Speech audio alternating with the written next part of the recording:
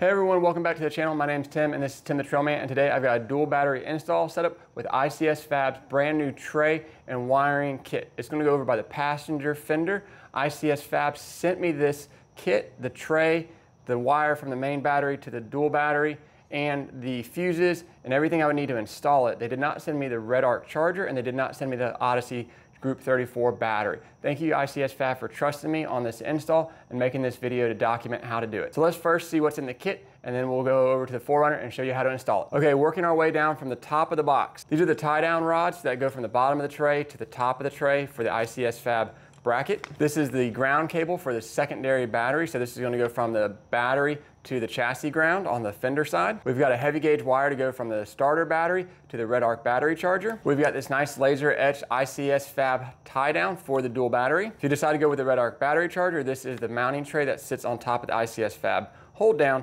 and this is where the RedArc charger will sit. Inside both of these boxes are the ICS upgraded battery terminals. They're upgraded because they're a better conductor. I believe they're made of aluminum. They also have extra mounting points for auxiliary things such as winches, lights, coolers, things like that. So you can tie down to those on both batteries. So I've got one for the starter battery, one set for the dual battery. This is a fuse kit for the main battery and the auxiliary battery. So the wire from the main battery to the dual battery is going to have be a fused wire. And then from the dual battery to the red arc charger will also be fused. You never want to run wires on electrical systems that aren't fused in case they get hit, nicked, cut, whatever, and then uh, burn down your vehicle. Always fuse your wires. Okay, so this is the pride and joy. This is the ICS battery tray itself. The way that it's going to work is it sits behind the airbox on the passenger side. This part will bolt up to the fender. There's already threaded holes from Toyota. There's also a nut on top of the wheel well that this will hold itself down. And then I'll show you how the rods and everything work. But this is a heavy duty tray. It looks super simple to install. It is set up for a Group 34 battery, so that's what I purchased. And then once it's installed, we'll hook up the RedArc charger and then run accessories and everything like that. So let's head on over to the 4Runner now. Okay, so we're over at the 4Runner. I need to do a couple things. I don't know if all 4Runners come with this. Mine's a 2020. So this needs to be relocated because the wall of the ICS fab is gonna go into that hole and that hole and then get held down by that nut. So that's how easy it will be to install. And then how I'm gonna relocate this is this plastic trim right here or a holder for the main harness. You can actually see this piece right here comes up to here. So I'm gonna unclip that and then this is gonna give me slack to tuck it down and I'm gonna zip tie it around there take that nut loose and then set the tray in. So let me go ahead and do that off camera because this uh, I pulled on it and it's actually kind of difficult. So I'll be right back. Okay, so I'm back and I was wrong in the previous clip. It's not this hole and this hole. It's actually this hole and this hole. I've taken that nut loose. The tray will sit on top of that and we are test fitting it. This ground goes right here um, on the fender but the tray seemed a little wobbly. I don't know if that's necessarily supposed to be the case, but what I'm gonna do is take that bolt out and then I'm gonna run it up and the battery is gonna be grounded to the chassis, either here by the airbox, right there. Let me focus, right there. Or I'm gonna run it up to this ground right there. Um, you can see, let me focus, right there. So either way, this ground will have a place to go. So let me get that tray installed and I'll show you what it looks like and then we'll put the battery in, hook this up. Be right back. Okay, so now that we've got the wiring set up and the zip ties and everything, um, we are going to need to put the rods in the tray system because the nuts are on the bottom. And what we need to do is run one nut up. All this is provided in the kit as you saw. Uh, run one nut up about an inch and then it's going to go through here. There are four nuts that are regular nuts, and then there's two nuts that are locking nuts. I'm gonna put that on the bottom in case it vibrates. And then the way to tighten it is start that up there. And then I put two nuts up here to jam it. And just hold this. They're 14s. And then I can tighten that down. I'm gonna run it just till a thread or two is stuck out, like that and then run that nut down to lock that in place. So now that stud is there. I'm gonna transfer this to the other stud and put it in, be right back. Okay, so we got the tray installed. That bolt's in there, that bolt's in there. On a quick side note, that's not a locking nut. The one is on the bottom is a locking nut.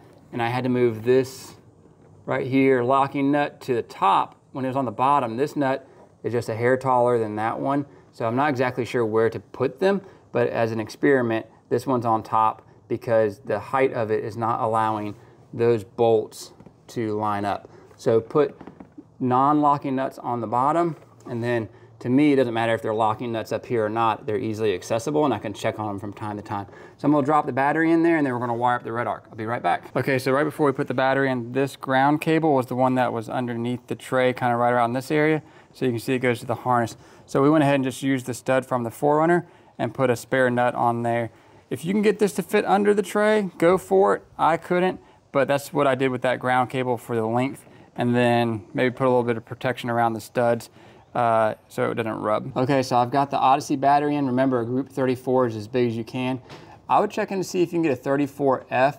Um, the one at ICS they showed me, their positive terminal is up here and their negative is up here. So I believe that's a 34F where the battery can be rotated and then keep the battery positive over here. I wanted to keep it away from the fender.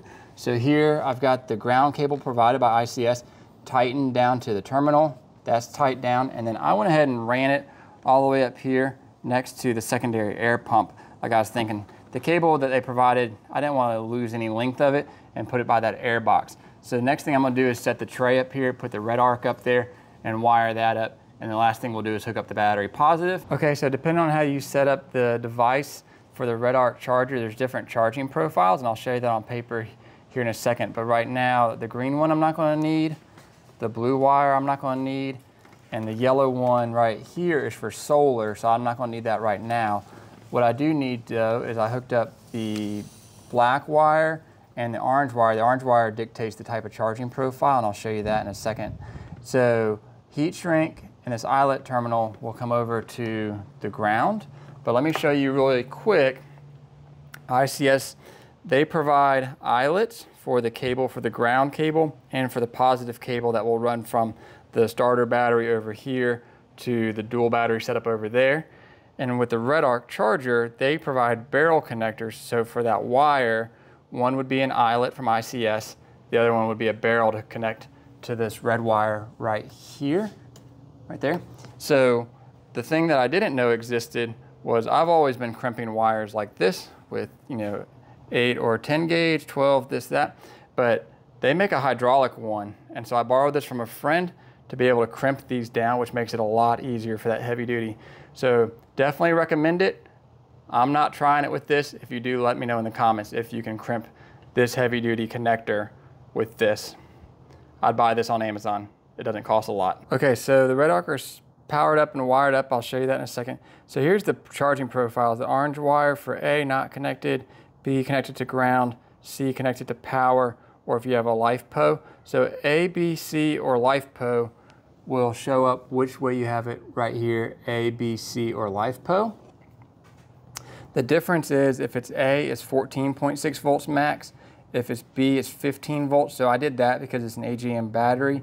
C would be over 15.3 volts. I don't think that's necessary. And for LiFePO, which I don't have. So that's what those mean and how you wire them up. Okay, let me show you how the blue wire works really quick. The standard trigger versus the low voltage, the main difference is going to be if it's not connected, the red arc is going to be charging if your starter battery is above 13.2 volts and below 12.7 volts. If you connect it with vehicle ignition, then it's only going to charge if it's above 12 volts and it sees that vehicle ignition is on, and it's going to quit charging if it drops below 11.9 volts. So even though I have a relatively variable alternator, you would think that I would go with low voltage.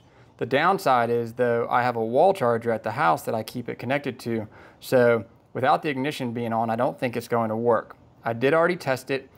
If the battery, starter battery, is above 13.2 volts, then that's going to stay charging whether the ignition's on or not. So therefore I only have to connect one set of charging leads at the house and my alternator relatively puts out over 13.2 volts all the time, so I don't need to worry about it not charging the second battery. So that's how the blue wire works. So this is the wiring schematic provided by Red Arc, the typical setup for 12 volts solar panel if you have it, starter battery, your second battery, your ground, and the Red Arc charger. So go ahead and pause the video if you'd like to study that and set yours up. The book comes with the Red Arc charger. Okay, so a quick overview. This power wire here goes over and around, and that is going to power up the Red Arc. Then I have it fused from the Red Arc into the battery. So that's the second fuse piece from ICS. The ground, the earth cable, down to the secondary air pump, next down to the fender is grounded. So hold down, battery, ground, power. Overall, I'm super excited of how this came out, and this is how it looks in the engine bay. Starter battery, dual battery. Okay, that wraps up the installation of ICS Fab's dual battery setup. Thank you again to ICS Fab for providing the dual tray setup and the wiring kit. I'm super excited about how it came out from start to finish without filming or taking a lunch, you can have it done in an hour. And I find that as a win if you're doing a mod and you can have it done in less than an hour. If you'd like to see more content like this, then please hit that thumbs up button, that subscribe button, and thank you for watching.